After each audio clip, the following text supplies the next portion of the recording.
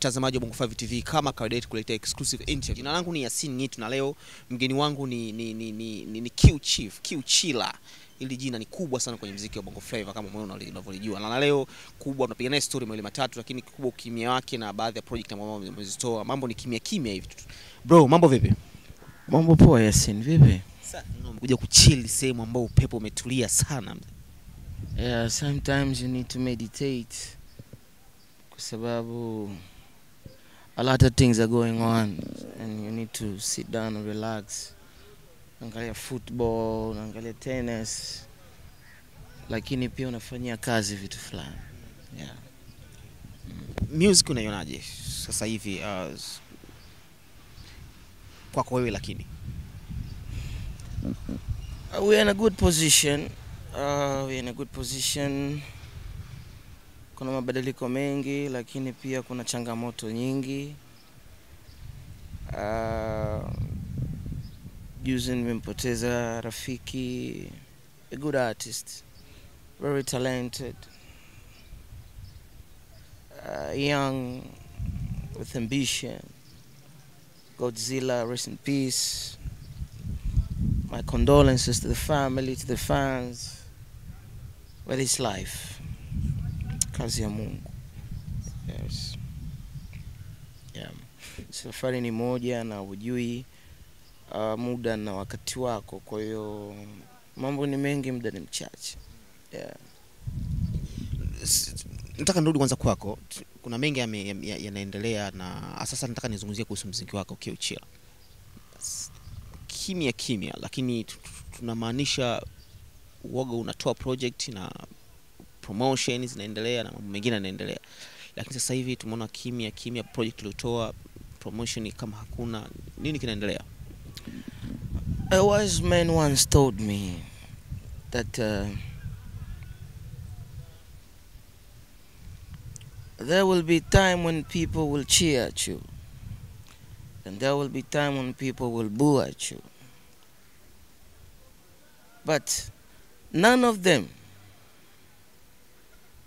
should distract you because those are just noisy to make you relevant.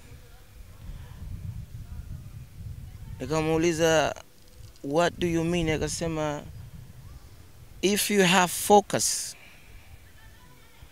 and you are a believer that you believe in god and make people believe in q chief kwa sababu you have the talent you had the time to think about it to go through it so i'm relevant that's all i can say Lakini kuna mambo mengi yanaendelea chini kwa chini kwenye mziki. ya kuna mambo mengi yanaendelea. Kuna kipindi nilisema naacha, lakini kwa mapenzi ya fans, kwa mapenzi ya Mungu na dua zao, there are some people who value the amount of talent that you have. They believe in you and they believe kwamba unapita tu kwenye changamoto, it's just a process, ndio maisha wanasema, lakini projects zinaendelea na this time around tunaifanya matured kwa sababu I'm on my own. Na kuna vitu vingi vinaendelea, lazima niviangalie katika mtazamo tofauti in a positive way, lakini well and well projects zinakuja very soon. Tumepata marafiki kutoka USA, Chicago, uh, Atlanta ambao kwa bahati nzuri wanathamini, wanaelewa mziki wangu na wanasema Q Chief, kuna artist wengi Tanzania ambao tunawaheshimu, tunawapenda, lakini tunaiona nafasi yako na tunajua uwezo wako na tuna omba tuchangie katika njia yoyote, lakini tusijulikane kama ni videos, kama ni audio sessions and everything. So there is a team of backup and there is something good coming up soon. kuna baadhi ya watu wanaweza kuwa na tafsiri tofauti. Kiuchila unakuwa una, una, una, una, una, una, unapata baadhi ya management na unafanya nazo kazi, lakini uh, kwamba unakwama kwama. Nini kinakwamisha hapa katikati, kinaingilia kati hapa? Mi nadhani watu wanaokuja kuwekeza kwangu au kutaka kunisapoti ni watu wenye nia nzuri tu.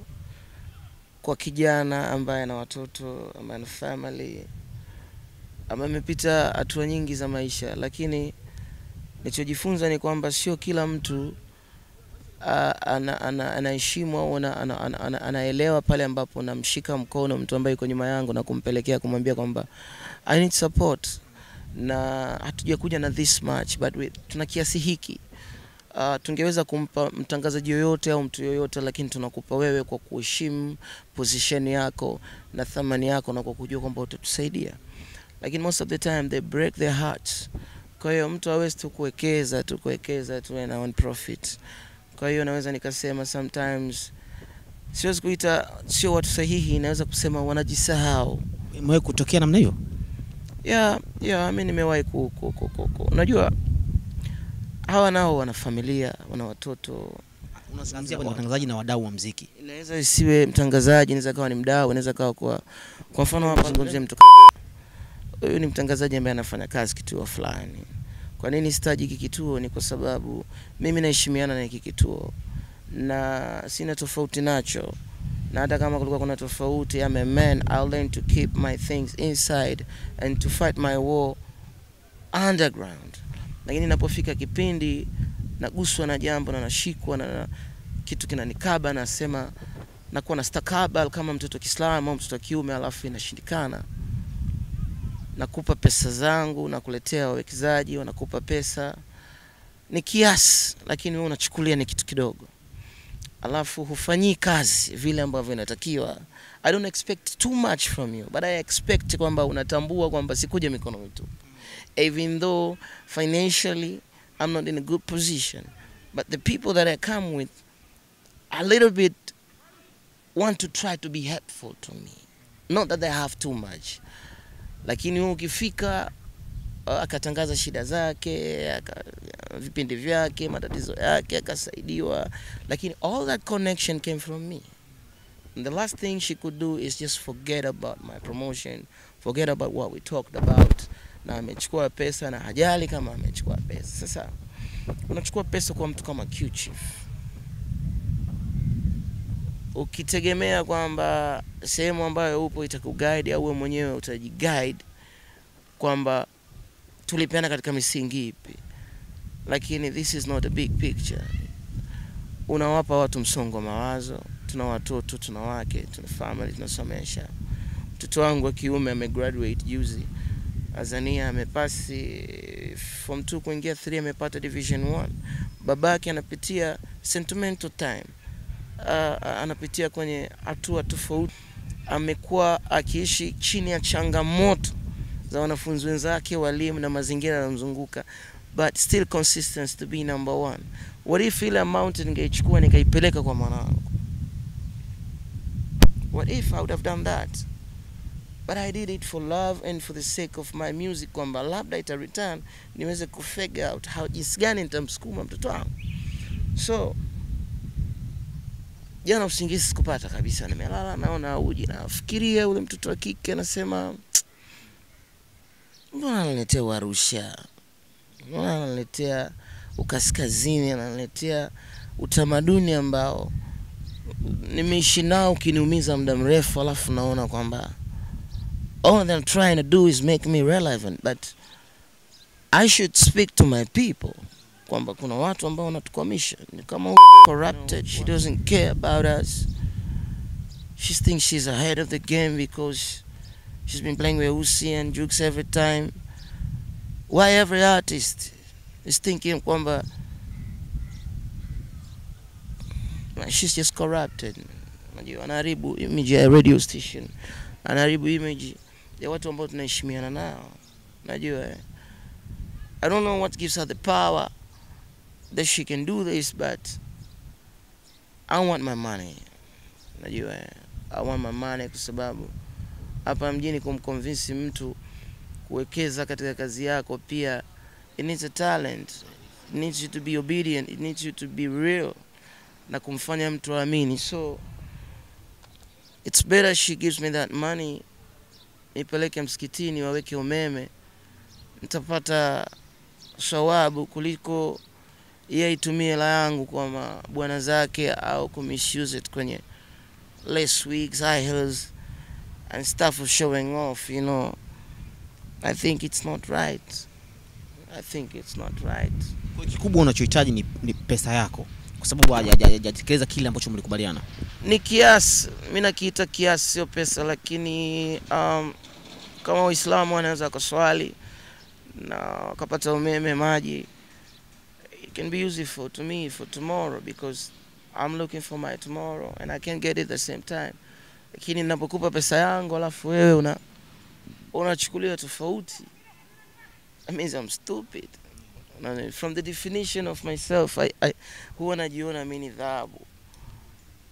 Lakini some people prefer silver which is okay. Eh?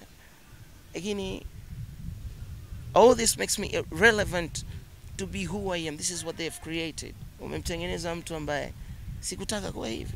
Kuwa sometimes niko on camera naonekana kama nalalamika no silalamiki naelezea kwamba kuna watu tunaishi nao katika jamii moja lakini wana utamaduni tofauti na utamaduni wetu Sio wazuri kwa tafsiri nyingine. Definitely. Unaishi kwa kukariri alafu unachukua pesa ya mtu kama Q-Chief ambaye watu wote wanajua anapitia situations gani. And you take this amount of money, this such, hiki kiasi ni kikubwa kwangu. We don't live through trends anymore. Unajua. So kuna watu wanapelekea watu kufanya vitu ambavyo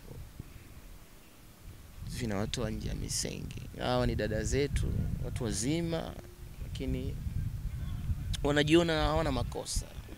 By the way, uliwahi kumtafuta labda kumpigia simu kwa sababu mwisho wa siku mlikubaliana na kufanya hivyo, labda kumtafuta kwa namna moja nyingine kaongea? Time is limited. I've got a lot of things. I will look